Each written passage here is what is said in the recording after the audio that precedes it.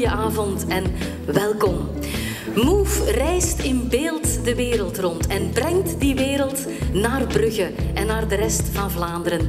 Kwetsbare wereldcinema, elf dagen lang in de Brugse binnenstad, dat is Move. De organisatoren zijn er helemaal klaar